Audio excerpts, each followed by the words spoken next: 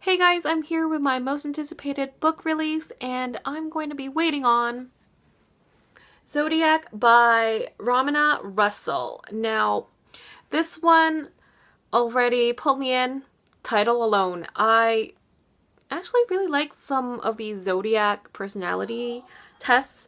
I do read some of those books that you you know, you can find in the library or at the bookstore where you can read up on personalities of each of the zodiac signs.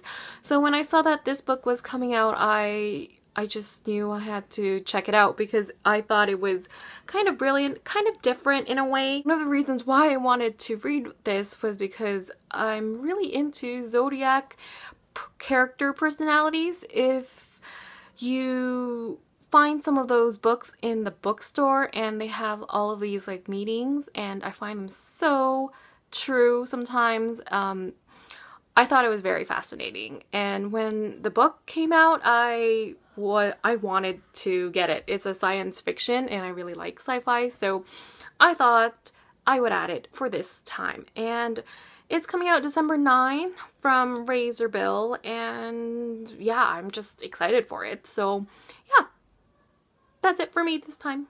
Bye.